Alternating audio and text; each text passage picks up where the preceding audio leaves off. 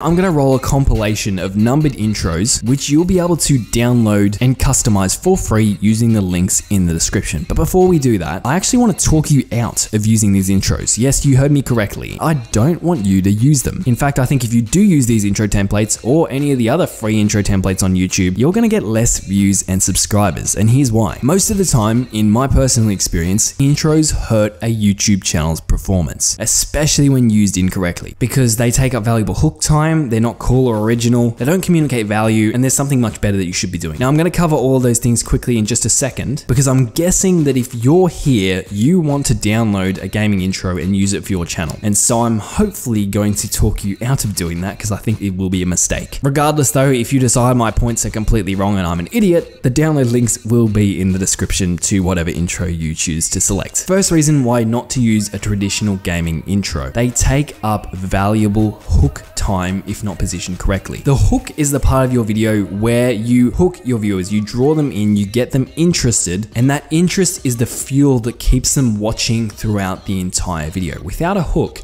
your viewers are going to leave the video early, which is going to bring your watch time, your average view duration, pretty much everything good. It's going to bring it down which is a bad thing, and that results in you not getting views, much less subscribers. See, the reason an intro is bad for your hook is because generally speaking, a traditional gaming intro takes between 5 and 15 seconds. In my experience, most successful videos hook a viewer within the first 5 seconds. So if your intro takes up that time, then you've missed out on the biggest opportunity of your entire video to hook people and keep them watching. In my opinion, this is one of the reasons why YouTube, YouTube ads, you'll notice that you can skip the ad after 5 seconds. I believe this is because YouTube figured out that if you can't hook someone within the first 5 seconds, they're not going to watch anyway, so that's when they introduced the skip button. Think of the beginning of your video like a YouTube ad. In those five seconds, you have to hook people. You have to do something, say something, show something that's going to keep them watching, that's going to very much interest them, impress them, provide them with some type of value or at least a promise of value that will keep them watching. Otherwise, they will skip,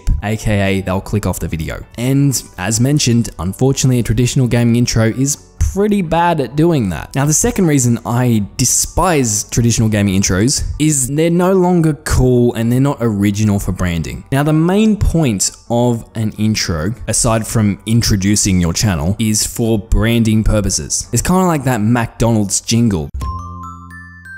When you hear that sound and see the big M on a red background, you instantly think McDonald's. That's because McDonald's have awesome branding. And that's one of the biggest purposes of a gaming intro, is to come up with something original, preferably cool, that people will remember you by and associate you with. Now the problem is, traditional gaming intros, firstly, they were cool back in 2013. Nowadays, every man and his dog has a traditional gaming intro, and it's about as far from original as you can get, meaning that including one defeats the entire purpose. Imagine McDonald's, Hungry Jack's, Kentucky Fried Chicken, Wendy's, insert fast food place here. Imagine if they all had the exact same jingle as McDonald's. That jingle would kind of begin to lose its meaning because you'd start associating it with multiple different people, which defeats the entire purpose. Because you'd start associating it not just with McDonald's, but with everyone, which defeats the purpose of your branding, just getting people to remember you. And that's another reason why I dislike the traditional gaming intros.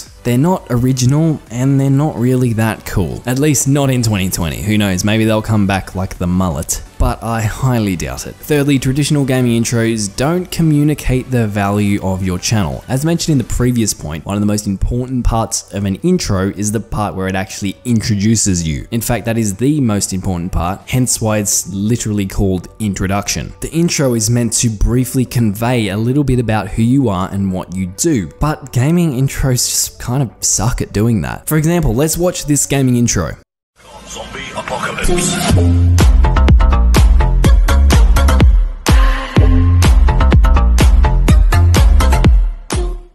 So let me ask you, now that you've watched the introduction for that YouTube channel, what do you know about that YouTube channel? What do you know about what they do? You know literally nothing aside from the channel name, which probably the least of your cares. Therefore, this intro completely failed to do the bare minimum thing it was supposed to do, which was to introduce the channel. So I've been bashing gaming intros for a little bit now. So you might be wondering, well Marcus, what do you suggest I do instead of a gaming intro? Well, first of all, I personally believe you don't necessarily need to have a graphical traditional introduction like the things that have been shown on the screen. You'll probably notice that a lot of YouTubers nowadays completely skip the traditional graphical intro altogether. They might literally just introduce themselves verbally like I did at the beginning of this video. I told you who I was, what I do, and why the hell you should care. I think, and although granted my intro is a little bit lengthy, I think it probably got you more interested in this channel if you're a gaming YouTuber than you would have been by my channel name bouncing around on the screen to some utterly cringy dubstep.